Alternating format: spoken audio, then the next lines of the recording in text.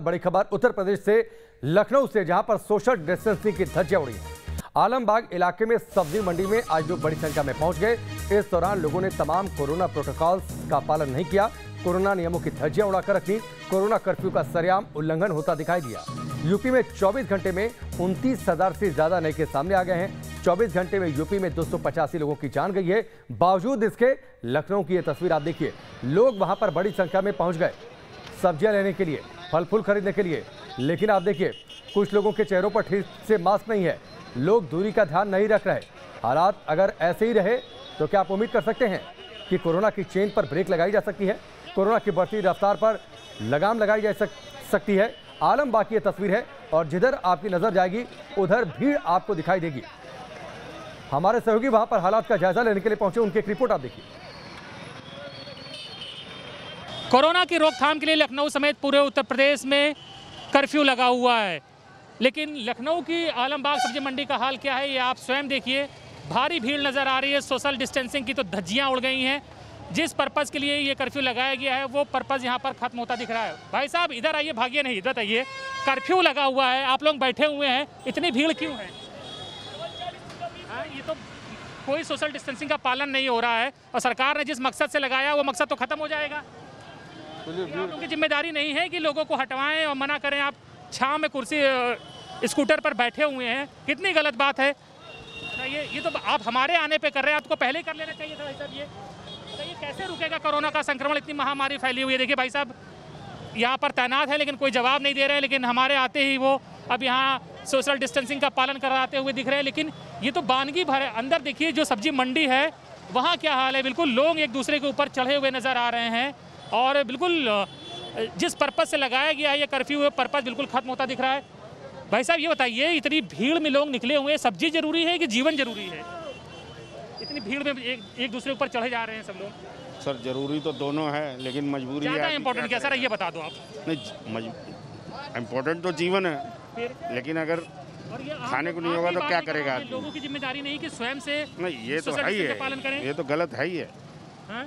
ये तो गलत है ही है थोड़ा डिस्टेंस बना के खड़े होना चाहिए सब पुलिस वाले देखिए बैठे हुए हैं आराम से वो भी।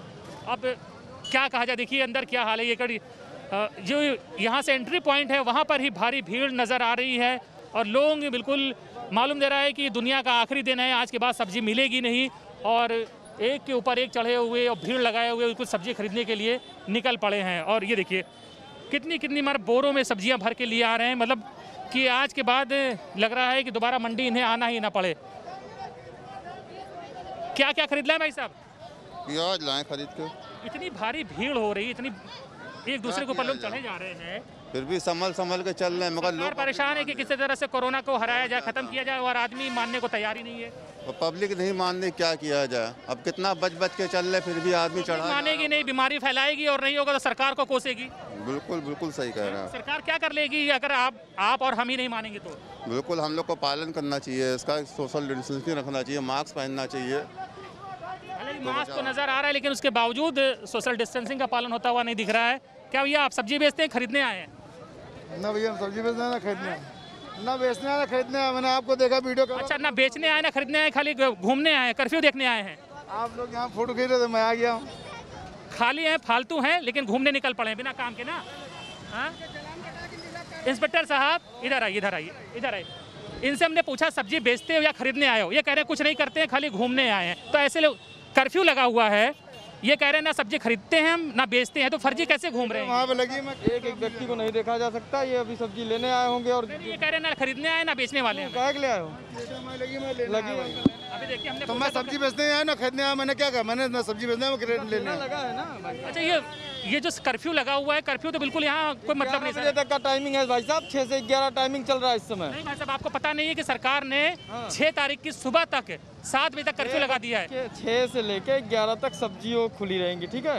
आप पता कर खुली रहेंगी खुली रहेंगी लेकिन इस तरह से खुली रहेंगी जिस तरह से खुली है। कैसे? किस प्रकार से? एक ऊपर एक है, हुए देख रहे हैं आप सर सोशल डिस्टेंसिंग नाम की भी कोई चिड़िया है? सभी के पास मास्क लगा हुआ है और सभी लगभग लगभग दूरी पे बने हैं ठीक है? दूरी पे बने देखिए। दीपक कुमार पांडे जी हैं इंस्पेक्टर साहब हैं कह रहे हैं कि लोग दूर पे बने हुए हैं। कितनी दूरी पे बने हुए हैं?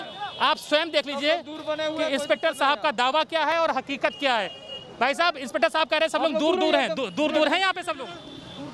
सब लोग सब दूरी है, क्या करे मजबूरी है, क्या करे, किसको किसको, एक आदमी तो है नहीं, चलो समझा ले जाएगा। चलिए, ठीक है, अब इंस्पेक्टर साहब कह रहे हैं, उनके पास डंडा है तो हम भी मान लेते हैं कि दूर है, लेकिन ये तय आपको करना है कि लोग कितने दूर हैं। देख लीजिए कितने दूर हैं लोग और कैसे सोशल डिस्टेंसिंग का पालन कर रहे हैं। तो सरकार अपनी तरफ़ से पूरी कोशिश कर रही है, लेकिन सरकार की कोशिशों में जनता खुद पलीता लगाती हुई नज़र आ रही है। वीडियो सुबह खान के साथ अनिल यादव, न्यूज़ नेशन, लखनऊ।